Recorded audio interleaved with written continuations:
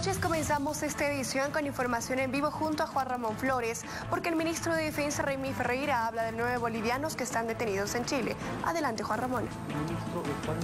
Nos encontramos con el ministro de Defensa, Remy Ferreira, y él nos va a dar detalles del arribo de los nueve bolivianos que han sido detenidos en Chile. Ministro, buenas noches. Eso ha evitado justamente que puedan llegar hoy día o mañana a primera hora por porque el feriado religioso que ellos acá dan la fiesta de San Pedro, San Pablo, no estoy muy seguro, hace que la actividad privada y pública no funcione. Eh, sin embargo, tenemos ya el recurso, tenemos el dinero y a primera hora mañana se va a hacer el depósito y la constancia judicial y el registro de ese dinero para cumplir eh, uno de los requisitos que faltaba. Los otros requisitos se han venido cumpliendo, ¿no? el análisis sanguíneo, el registro biométrico, todo lo que se exigió en esa injusta sentencia.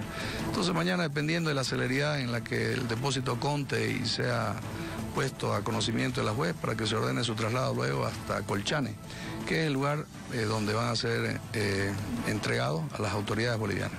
¿Para ¿Cuál va a ser el cronograma que lleguen a Colchane nuestros compañeros? El cronograma que van a seguir. Eh, estamos, repito, de acuerdo a la velocidad de los trámites, de la rapidez, de, de lo que pasa el certificado a la juez y la juez a las autoridades penitenciarias y policiales estimamos o mañana a la tarde o el miércoles, ¿no? Es decir, no podríamos ahorita llegar a una fecha exacta porque eso está en función de la celeridad de los trámites que se vayan a efectivizar mañana. Cuando estén en Cerro Boliviano, ¿cuál va a ser la actividad que va a hacer? Bueno, va a haber una comisión de, que los va a ir a recibir, eh, va a ir, vamos a ir algunos ministros y se va a hacer luego su traslado a la ciudad de La Paz.